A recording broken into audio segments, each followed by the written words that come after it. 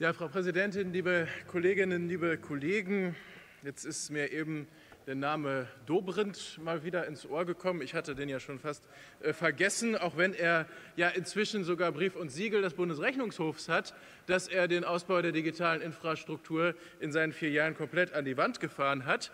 Diese Kritik ist ja völlig berechtigt. Nur lieber Kollege Vogt, ich frage mich dann schon immer, wer eigentlich diese mysteriöse, phantomhafte dritte Partei war, die da in den letzten Jahren neben CDU und CSU am Kabinettstisch saß.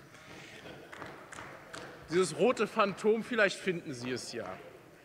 So, und lieber Kollege Matheisen, ähm, dieses Thema mitgemeint, ich kenne das Stichwort aus anderen Debatten, aber es ist natürlich immer schön, wenn man ähm, Punkte, die wichtig sind, nicht erwähnt und dann sagt, ja, nee, haben wir alles mitgemeint, war alles, ist alles mit drin.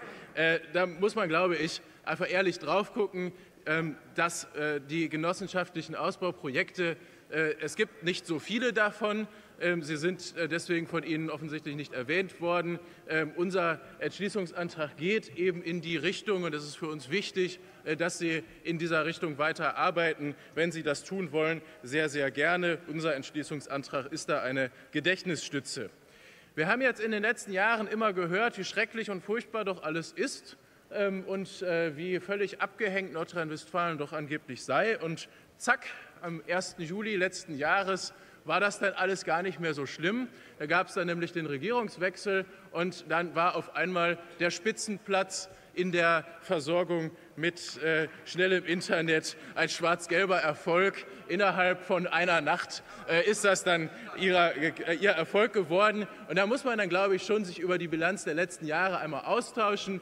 Wir haben in unserer Regierungszeit eine halbe Milliarde Euro für den äh, Breitbandausbau bereitgestellt. Wir haben Nordrhein-Westfalen auf diesen Spitzenplatz geführt. Wir haben Breitbandkoordinatoren eingeführt. Wir haben, wenn man sich jetzt die Förderung anschaut, wenn das alles, was in den letzten Calls äh, des Förderprogramms äh, genehmigt wurde, was kofinanziert wurde aus Geldern, die wir bereitgestellt haben, wenn das alles verbaut ist, werden wir jenseits der 90 Prozent Ausbau mit 50 Mbit liegen.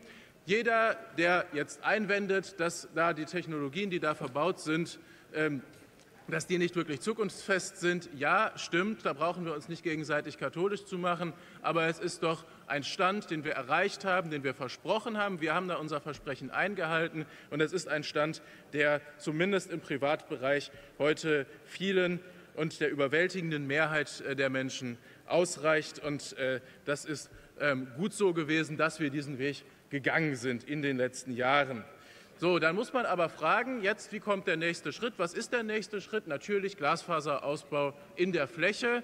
Da, liebe Kolleginnen und Kollegen von CDU und FDP, haben wir in den letzten Monaten immer wieder die Verweise auf den Bund gehört. Sie haben aber nie konkret gesagt, wie soll es denn jetzt eigentlich werden.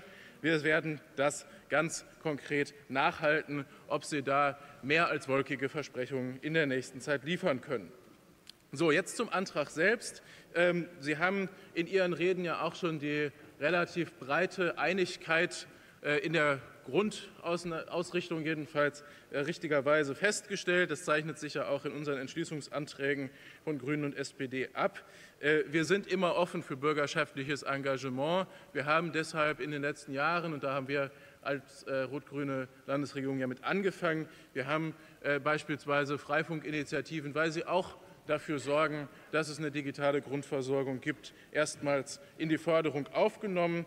Ähm, und wir sind auch immer offen gewesen für alternative Ausbauwege. Für uns eben an dieser Stelle wichtig, ähm, das noch mal verstärkt in den Fokus zu nehmen, das Modell über den genossenschaftlichen Breitbandausbau. Da haben wir Ihnen ja angeführt, dass es da in den letzten Jahren zwei Projekte gab. Die haben wir durch ähm, Initiativen aus den rot-grünen, damals regierungstragenden Fraktionen angestoßen. Wir haben die äh, Haushaltsansätze 2015 eingeführt, erst 100.000 Euro, dann inzwischen 350.000 Euro im Jahr 2017. Das heißt also, wir sind da auch mit nennenswerten Summen reingegangen, haben zwei Modellprojekte fördern können, eines in Hagen und eines in Ostwestfalen-Lippe. Beide Projekte wurden vom Rheinisch-Westfälischen Genossenschaftsverband betreut, haben gute Ergebnisse geliefert. Für uns ist es wichtig, dass mit diesem Ansatz alle vor Ort gemeinsam am Ausbau mitwirken können.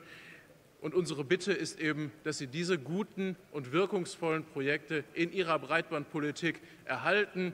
Und wenn wir uns dann in der nächsten Zeit auseinandersetzen, wir vielleicht auch realistisch und mit weniger Schaum vor dem Mund die Debatten führen können.